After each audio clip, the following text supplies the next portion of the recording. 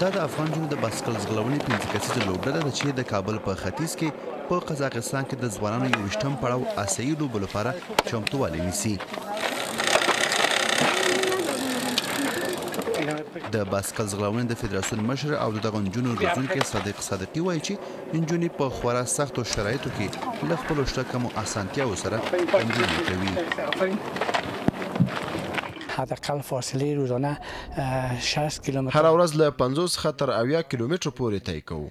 نن زموږ لوبغاړو دا وړتیا پیدا کړې ده. ای توانمندی حاصل کردن.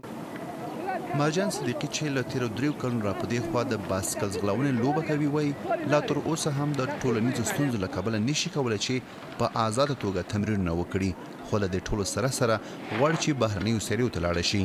تعالی شوق ذوق دخترها زیاد است میخواین که دهی رشته پیش. د لوبغاړو شوق زیات دی او غواړي چې پرمختګ وکړي.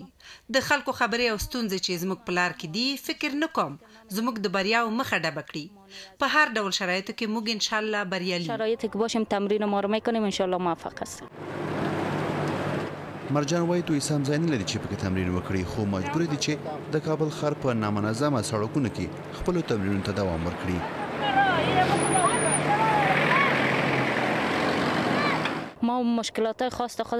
موږ زیاتې ستونزې لرو خو د تمرین په برخه کې ډېرې زیاتې دي.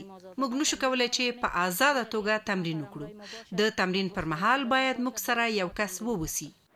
نجونې وايي چې د افغانستان د ښې راتلونکې او د سولې د ټنګېدو لپاره لوبې کوي.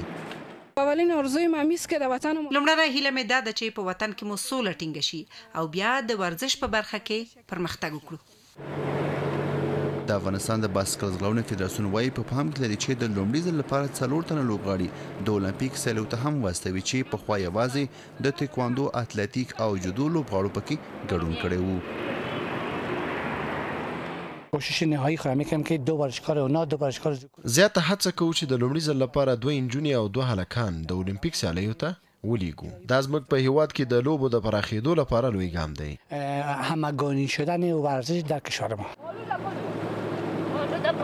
په داسې حال کې چې په افغانستان کې د ښځو په تېره د ښځینه ورزشکارانو په وړاندې زیات خنډونه شته او لږې کورنۍ پیدا کېږي چې خپلو نجونو ته اجازه ورکوي چې ورزش ته مخه کړي، خو په دې وروستیو کلونو کې نجونو د دغه سرحد په ماتولو سره د ورزش په برخه کې بریاوې ترلاسه کړي. تېر کال د نجونو د باسکل ځغلونې لوبډلې په پاکستان کې په یو لړ سیالیو کې درېیم مقام ګټلی و او په هندوستان کې په اسیايي سیالیو کې هم ګډون کړی و. وحیدالله فیض ساپی، اشنا تلویزیون، کابل.